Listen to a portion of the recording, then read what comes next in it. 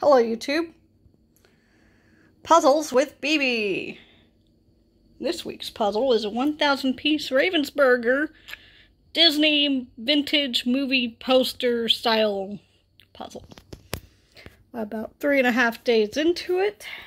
I have a lot of the pieces sorted. I have some of it put together.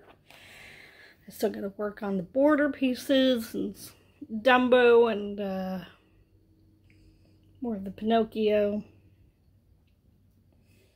I have ways to go. Got to do the Cinderella pieces and the Aristocats. A lot of the inside pieces too. There we go.